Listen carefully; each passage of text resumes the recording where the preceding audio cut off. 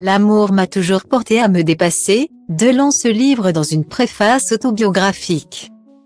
Ce lundi 17 avril 2023, l'AFP dévoile qu'Alain Delon signe la préface d'un livre consacré à sa carrière et ses mémoires. Intitulé Alain Delon, Amour et mémoire, il paraîtra le 5 mai aux éditions de La Martinière. Une vie qui passionne. La carrière tout comme la vie personnelle du légendaire acteur Alain Delon seront bientôt dévoilées dans un ouvrage riche en témoignages et photos inédites. L'acteur, dont la carrière exceptionnelle a marqué le cinéma français, se livre dans la préface de cet ouvrage qui lui est dédié. Intitulé Alain Delon, Amour et mémoire.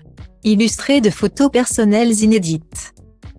Ce livre, rédigé par Denis Zabantcheva et Lidiana Roska, retrace l'histoire de l'acteur de son enfance à sa carrière cinématographique. Film par film. L'ouvrage comprend également des témoignages rares de personnalités du cinéma et de proches collaborateurs. Un ouvrage de grande qualité dont la préface a en plus été écrite par l'acteur lui-même. La FP et BFM TV ont pu en dévoiler quelques passages. L'amour m'a toujours porté à me dépasser, écrit Alain Delon, dont la santé inquiète. Dans la préface de ce livre autobiographique et panégyrique. À 87 ans, il avoue avoir voulu être le meilleur. Le plus beau, le plus fort pour les femmes de sa vie, notamment Brigitte Aubert. Michel Cordoue, Romy Schneider, Nathalie Delon, Mireille Darc et Rosalie Van Brément. Mère de ces deux derniers enfants. L'acteur affirme que l'amour, elle, a toujours porté à se dépasser et que sa carrière n'aurait pas existé sans les rencontres avec les grands cinéastes qui l'ont formé et sublimé. Alain Delon dédie ce livre aux jeunes et aux cinéphiles de l'avenir et y dévoile également une lettre posthume adressée à Romy Schneider.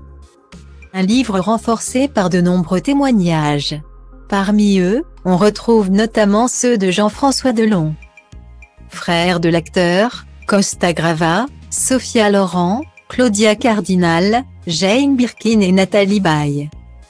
En outre, Alain Delon révèle qu'il n'y a jamais eu de relation amoureuse entre lui et Brigitte Bardot.